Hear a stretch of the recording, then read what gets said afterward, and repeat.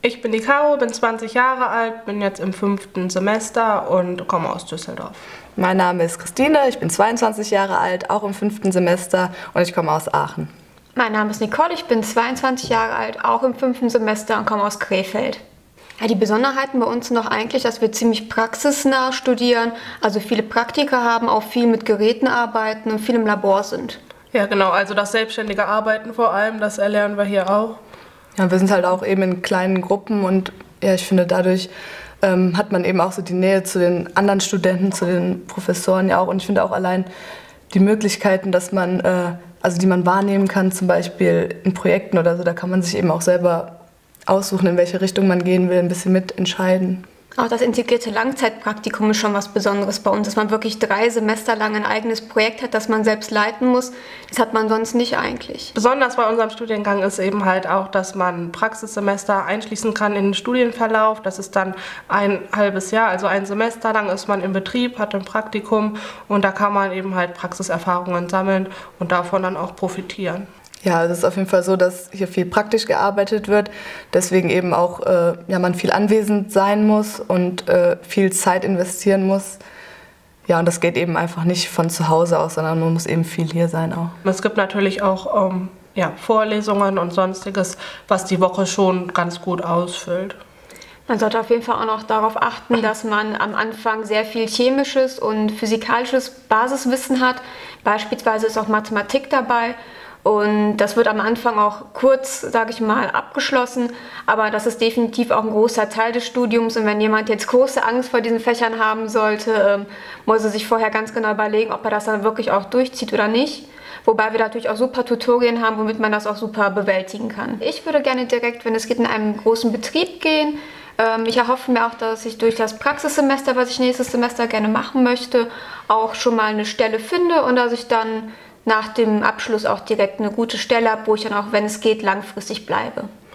Ich gucke mal, was das Praxissemester jetzt bringt, wo ich jetzt mit an, erstmal anfange und dann nach der Bachelorarbeit guckt man mal, was dann kommt. Weißt du dann schon so thematisch, also in welche Richtung, wo du arbeiten willst? Ja, auf jeden Fall. So Produktentwicklung ist ja ziemlich interessant. Das ist bei mir auch so. Da werde ich eben halt im Praxissemester jetzt mal reinschnuppern und gucken, was was da so los ist. Ja. Da sehen wir uns auf jeden Fall nicht, weil ich wollte auf jeden Fall ins Lebensmittelrecht gehen. Das fand ich ziemlich interessant.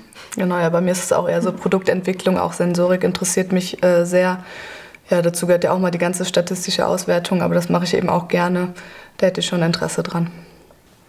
Ja, wir sind eigentlich alle in dem gleichen Langzeitprojekt, also äh, Qualitätsmanagement, haben da aber noch unterschiedliche Teilgruppen. Also wir haben uns zum Beispiel damit befasst, dann ein Brotbier zu brauen. Also das ging eben darum, dass eben so, so viele ähm, Reste an Brot gibt, die weggeschmissen werden und ob man das nicht eben weiter verarbeiten könnte in ein Bier ähm, und eben Teil vom Malz durch Brot dann ersetzen. Ja, also wir haben das Bier gebraut und dann auch analysiert. Also es war ganz War eben auch sehr praktisch. Ja. Sehr lecker. also ich befasse mich in meinem Projekt mit regionalen Produkten, dass man erstmal schaut, was versteht man eigentlich unter regional, da es darum geht, dass auch regional als Qualitätsaspekt verwendet wird. Man möchte dann gerne auch herausfinden, wie weit ist es denn wirklich eine bessere Qualität oder nicht. Also ich finde, das Klima ist hier sehr gut und sehr aufgelockert. Also dadurch, dass man in den Kleingruppen sich eigentlich mit, also eigentlich fast alle kennt, ähm, ja, ist das sehr aufgelockert und alles so ein bisschen freundschaftliches Verhältnis hier.